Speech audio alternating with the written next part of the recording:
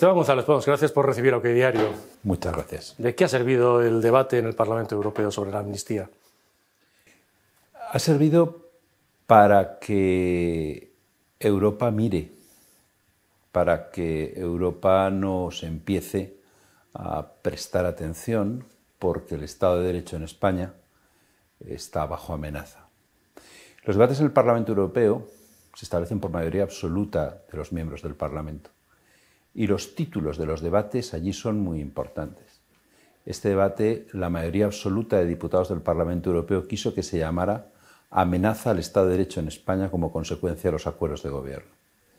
Es la primera luz naranja que la Unión Europea le enciende a Pedro Sánchez para que se detenga eh, en su ambición eh, de colonizar el resto de poderes del Estado, en su ambición de liquidar la división de poderes en España. ¿Esto nos sitúa eh, en estos términos en el nivel de Polonia o Hungría? Todavía no. España todavía no está, no está en la situación en la que han llegado a encontrarse Polonia y Hungría, pero ha emprendido ese camino. Un eurodiputado polaco cuyo vídeo está triunfando en las redes sociales, en su intervención en Estrasburgo le dijo al gobierno español, no se dejen caer por la pendiente por la que cayó mi país.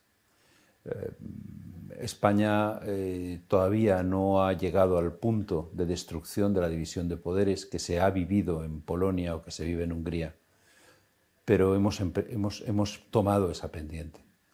Eh, espero que este debate y los que vendrán sirvan para que Pedro Sánchez reaccione y para que no termine ejecutando esta liquidación de la división de poderes y el Estado de Derecho que ha pactado con Bildu y con Puigdemont.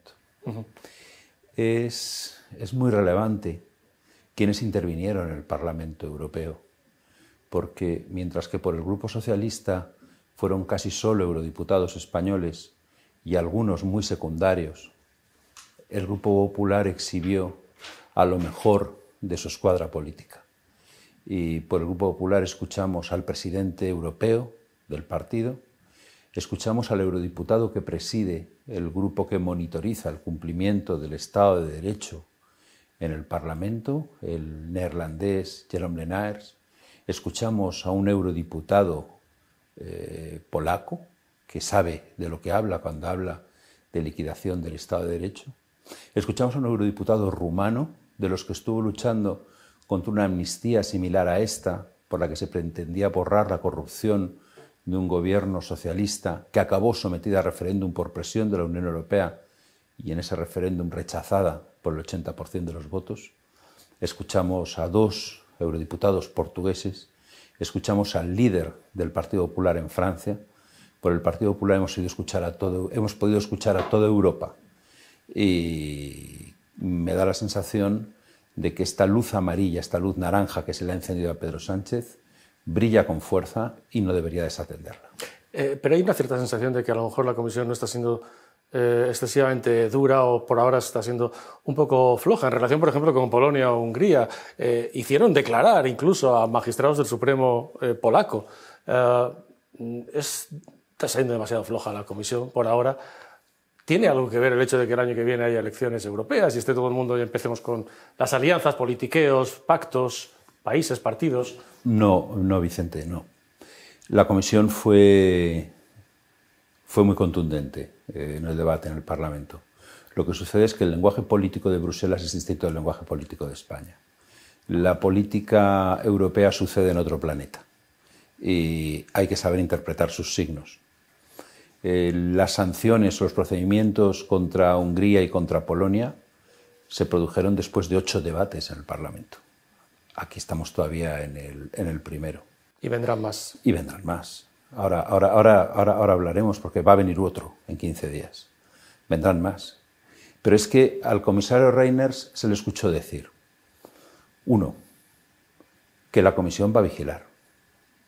Dos, muy importante, que la Comisión va a vigilar las enmiendas que se presenten al proyecto. Tres, que la Comisión va a vigilar a España al mismo nivel que a otros países europeos, se refería a Polonia y Hungría. Y cuatro, que la Comisión considera que el Estado de Derecho es un tema europeo y una vulneración del artículo 2 de los tratados es competencia de la Comisión. con una normativa, una norma que todavía está solo presentada en registro, la Comisión no puede haber dicho más cosas. Ha dicho que la va a vigilar, ha dicho que va a vigilar las enmiendas, ha dicho que la va a tratar al mismo nivel que ha tratado la de otros estados y ha dicho por fin que esto es un tema de competencia europea en lo que afecta al Estado. ha dicho mucho para el nivel parlamentario, en el momento parlamentario en el que estamos en España. Efectivamente. La semana que viene, Pedro Sánchez, todos los presidentes de turno de la Unión Europea acuden dos veces al Parlamento. Una al principio de su mandato y otra al finalizar su mandato. Sánchez no fue al principio de su mandato porque eh, estaba en campaña electoral. La semana que viene va a ir al final de su mandato, en el mes de diciembre, dentro de 15 días. En el mes de diciembre va a haber un debate, otro debate en el Parlamento Europeo, protagonizado personalmente por Pedro Sánchez, sobre el final del mandato de España como presidenta de turno de la Unión Europea. Ese se va a convertir otra vez en un debate sobre la amnistía. Y en ese yo supongo que sí intervendrá Puigdemont. En ese vamos a poder ver a Puigdemont interactuando con Pedro Sánchez, no solo dentro del hemiciclo, sino también en el debate y le puedo asegurar que para el Grupo Popular, que será el mayoritario, que es el mayoritario en la Cámara, ese día con Pedro Sánchez y Ursula von der Leyen en el hemiciclo, el tema principal va a ser la amnistía. Será sumamente interesante ver eso y ver esa imagen. Además, eh, ahora que no nos oye, ¿ve usted demasiado nubilada a von der Leyen con Sánchez? No. Porque es la sensación, todos tenemos la sensación de que, de que está obnubilada por el presidente del gobierno. Von der Leyen, que eh, no es alemana, es prusiana. Es decir, eh, es persona de, carácter, de carácter austero, de, carácter estoico. Es, sin embargo, eh, muy amable con sus interlocutores.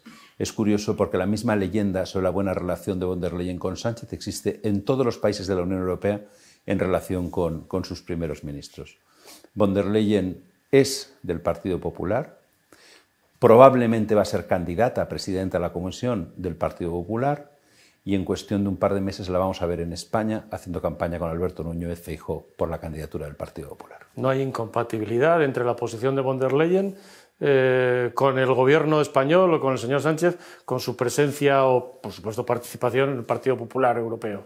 No, en el mes de marzo si todo sale como parece que va a salir, el Partido Popular Europeo la proclamará de nuevo su candidata y vamos a ver a von der Leyen en España haciendo campaña con Alberto Núñez Feijóo para las europeas. ¿Pero el apoyo de España se lo dará Sánchez o no? El apoyo para ser elegida se lo darán los votantes, porque ella se presenta a las elecciones europeas y si el Partido Popular es el que más votos tiene en Europa, obtendrá la presidencia de la Comisión. Sánchez no la hace presidenta de la Comisión, la hace el Parlamento Europeo, porque la presidenta de la Comisión la elige el Parlamento Europeo. Metidos en cuestiones eh, eh, nacionales, eh, ¿está inhabilitado el fiscal general del Estado después del bofetón del Tribunal Supremo el otro día respecto a Dolores Delgado? Al fiscal general del Estado el Tribunal Supremo lo ha tachado de desviador de poder. Ha dicho que había practicado la desviación de poder. La desviación de poder, o sea, utilizar una potestad administrativa para un fin distinto para el cual está previsto en las leyes, es el eh, peldaño previo a la prevaricación. Eh, el fiscal general del Estado está moralmente inhabilitado para seguir siendo fiscal general del Estado. Eh, ¿Intentará de nuevo Sánchez eso de cambiar la mayoría parlamentaria para renovar sin ustedes el Consejo General del Poder Judicial? Mm, antes, hablando del procedimiento europeo, he dicho que se le ha encendido una luz naranja en el Parlamento Europeo con la ley de amnistía. Si Sánchez rebaja la mayoría para elegir el Consejo General del Poder Judicial unilateralmente, si hace eso, si coloniza políticamente el Consejo General del Poder Judicial, se va a encontrar con una luz roja inmediatamente, una, una colonización, una contaminación política del Poder Judicial apresurada por parte de Pedro Sánchez puede conllevar una imposición inmediata de sanciones a España, incluso la retirada de los fondos Next Generation. Eh, Pedro Sánchez, con el Estado de Derecho, debería jugar lo menos posible, porque quien maneja, quien destruye el Estado de Derecho tiene sanciones en Europa que pagan sus ciudadanos. Y peligra los fondos y juega con eso. Como se le ocurra eh, rebajar la mayoría para tomar el Consejo General del Poder Judicial y el Poder Judicial con, para poner sobre el Consejo General del Poder Judicial sus manazas, como se le ocurra contaminar políticamente, intentar contaminar políticamente al Tribunal Supremo, Pedro Sánchez puede encontrarse muy rápidamente con sanciones europeas que pagarán en el bolsillo de los españoles. ¿Le ha llamado el superministro Bolaños? Digo super por lo de los tres cargos. Bolaños no me ha llamado y yo no le he felicitado porque me parece que haber sido nombrado para liquidar el Poder Judicial no es algo de lo que él deba sentirse, deba sentirse orgulloso. Bolaños ha sido nombrado para eso. Yo creo que Bolaños es un ministro que lo han puesto para controlar el Poder Judicial. Haber juntado justicia con presidencia no es otra cosa que haber intentado poner una correa a los jueces para coartar su libertad. Eh, Bolaños es el comisario político en el Poder Judicial. No le llamo para felicitarle porque yo por eso no debo felicitar a nadie. Con lo cual no esperan que les llamen para esto, para renovar el Consejo del Poder Judicial o les llamarán y ustedes qué, qué harán. Una cosa es que la cortesía haya desaparecido entre nosotros. Una cosa es que yo no llame por cortesía a quien creo que es un comisario político. Otra cosa distinta es que jurídicamente él tenga la obligación de llamarme si quiere tener algún tipo de diálogo con nosotros.